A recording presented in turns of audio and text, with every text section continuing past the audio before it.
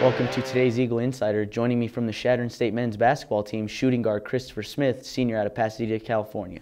Chris, it's great to have you in the studio today. Now, up in this point in the season, it's been a little up and down for the men's team, but you guys have been able to get a couple wins here towards the end. What's been the mindset that has kept you guys together?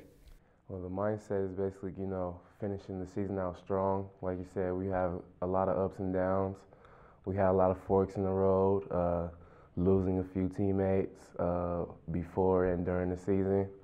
So, you know, we just been trying to stick together as a family, you know, like before before like every break we always say family so and you know we kind of take that to heart and you know we hang out with each other on and off the court and it's just you know try to be a family for each other.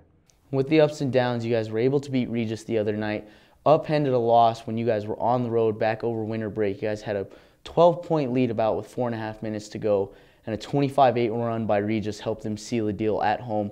What was the mindset going into that game, trying to get that win at home at the Chicoine Center? Well, you know, we just reminded ourselves of one, the, the first thing was about Regis, you know, like that was a team that we were supposed to beat, and we kind of faded at the end. Let that one slip away. We let that slip away, you know, and uh, we kind of reminded ourselves throughout that week of practice just to remember, like, you know, like every team is here to play no matter what the record is. You know, you have to come to play, otherwise you can lose. And I feel like when we were when we were there at Regis, we kind of took them lightly, and you could tell just how we were, just like you know, execution on the floor, and we weren't we just weren't there together as a team. And so this this go round, we tried to, you know, we worked on efficiency and actually finishing strong and actually playing for a full 40 minutes instead of 39 minutes because at Regis that last minute is what burned us. So that's what we tried to do.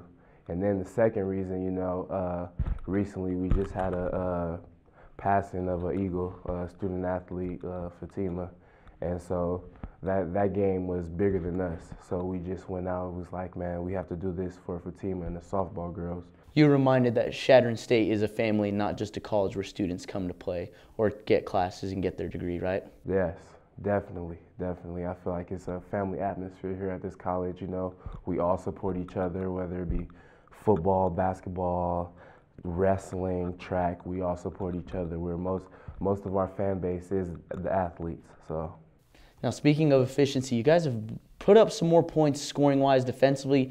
You've been able to hold teams back. Looking back at that weekend against New Mexico Highlands in Western New Mexico, two close games, lost by a combined total of three points. But Coach Bargan said in an interview that it was probably the best basketball you guys have played. Speaking from an efficiency standpoint, how's that felt on the offensive side of the ball for you personally?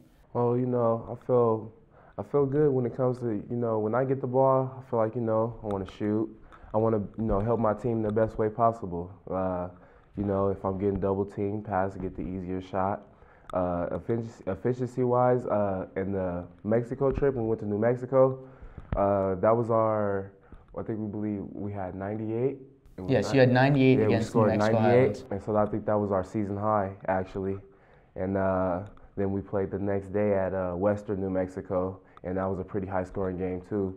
And uh, the Western New Mexico game, I caught food poisoning Ooh. that morning, so I didn't, I wasn't, I was unable to play that game because I couldn't hold anything down. So, yeah, but it was it was good for the team to actually build our confidence to believe that we could score because it, it came to a point of the season where we used we used to say we're not going to be able to score 80 points, so defensively we have to hold people to the six between 60, 60 to 70 points in order for us to win, you know. And then when with that when that weekend happened, it just helped. It helped. It helped you guys realize and realize that we can, you know, you guys can score. That we can score the ball. Now, this is the last part of the season. You've got two more games left here at home against Colorado Christian University on Friday, the 13th, and then on February 14th, it's senior night for you. What have your emotions been like these last few weeks, knowing that this is probably going to be some of your last few games in college basketball? I think about it every day, man. I think I just see the, I look at the clock and I just see it's ticking, man. And you know, it's it's it's kind of a like a humbling feeling at the end because you know it's like all the hard work that you put in throughout the years, starting from elementary school and from high school, and then from going to junior college, and then earning a scholarship, going coming here. it's it's been a humbling experience. It's been an eye-opening experience, and like honestly, basketball is like life, man. And you know that's how I'm kind of treating it as like you know you have your ups and downs, you have your good days and your bad days, but at the end of the day you got to keep fighting, you know. And that's kind of what I've been thinking about as I continue to open up a new chapter in my life. Now, with this heavy senior group that you're a part of for Coach Bargan, what has it been like for you guys as a group? Are you guys pretty close? Are you guys pretty much like a family, like you said? Have you had your moments on and off the court with each other? Yeah, man, we have a lot of we have a lot of funny moments, man. Kendrick, Joe, Evan, man, we hang out a lot, you know.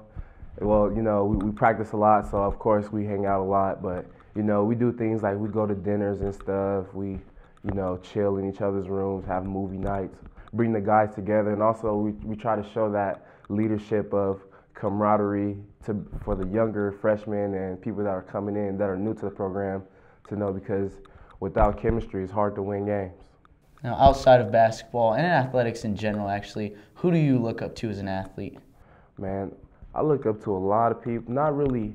I to say I look to specifically to one person. I take bits and pieces from a lot of people. You know, like uh, honestly, you know, one one big impact person in my life was my dad. You know, he uh, he pushed me. He pushed me a lot when when things were going down. He always he always kept it real with me, letting me know like you know if I'm playing bad or if I'm making a bad decision or even uh, academic wise. You know, like what career I need to pursue and like where the money is.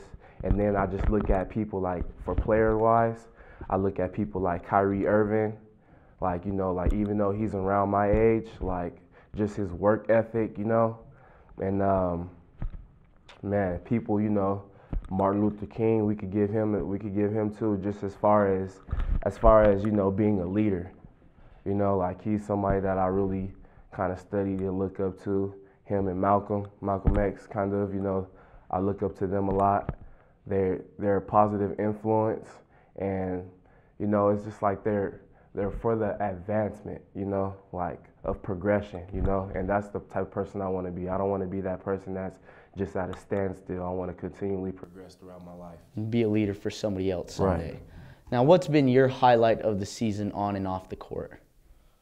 Whew, that's a good question, man. And you still got two games left in the season, but up to this point, what would you say has been the highlight of the season for you guys as a team?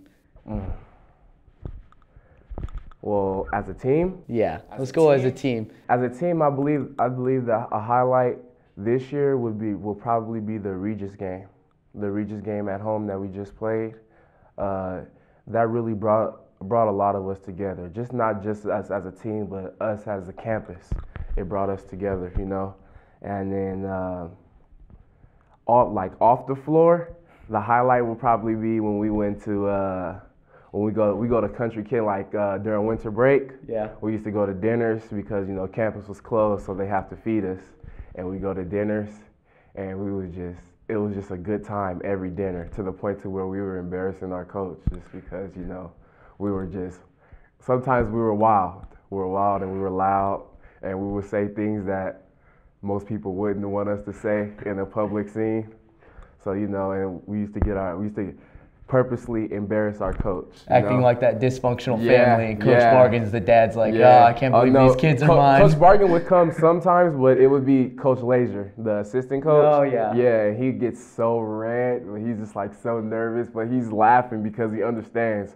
But you know, it's just it's a good thing. You know, brought us together a lot as as far as off the floor. You know, because it's it's hard to be it's hard to be a solid team when you can't hang out off the floor. You got to have that chemistry, not just on the that, court, but you got to be friends all the time. And Yeah.